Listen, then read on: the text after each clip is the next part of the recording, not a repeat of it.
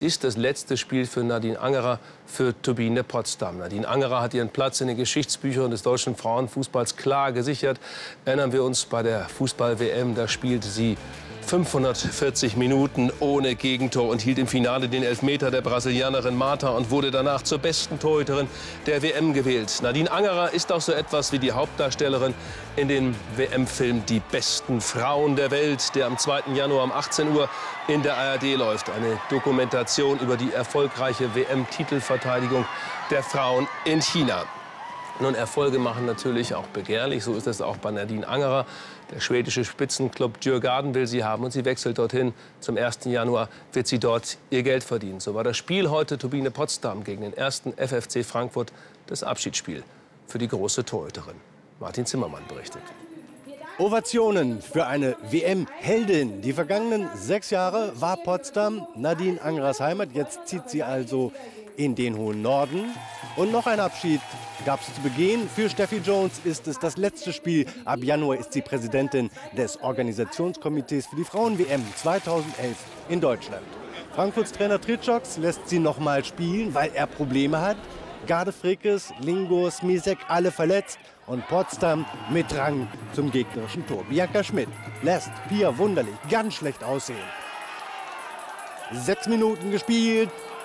Jennifer zieht mit einem ersten Warnschuss.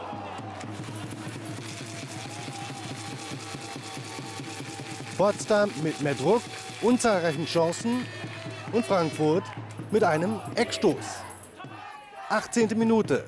Steffi Jones verpasst, Caroline Thomas ist da und mit ihr das 0 zu 1.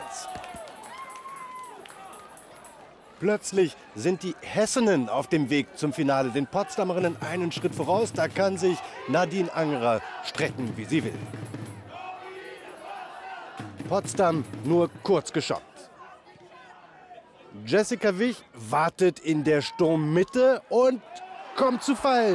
Nur der Schiedsrichterpfiff bleibt aus einer Fehlentscheidung, denn Petra Wimberski springt ihr in die Parade. Das hätte Strafstoß geben müssen. So liegt Potsdam zur Pause 0 zu 1 zurück vor den Augen von Matthias Platzek.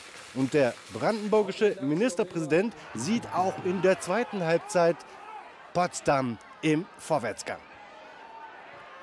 Gaurin, der Neuzugang aus Norwegen, endlich mit einem öffnenden Pass. Kerschowski, wieder nichts. Gina Lorraine Lewandowski auf der Linie. Der Pokalverteidiger aus Frankfurt im Dauerstress. Foul an Anja Mittag von Tina Wunderlich. Die nächste Chance für die Truppe von Trainer Bernd Schröder. Und die Gefaulte versucht's selbst. Im zweiten Versuch Pfosten, da waren noch 20 Minuten zu spielen. Nadine Angerer total unterbeschäftigt kann nur zusehen, wie ihre Kolleginnen vorn die Chancen reihenweise versiegen. Nochmal Mittag. Das war die letzte Chance. Frankfurt gewinnt glücklich mit 1 zu 0 und zieht ins Pokal-Halbfinale ein. Nadine Angerer verabschiedet sich mit einer Niederlage nach Stockholm.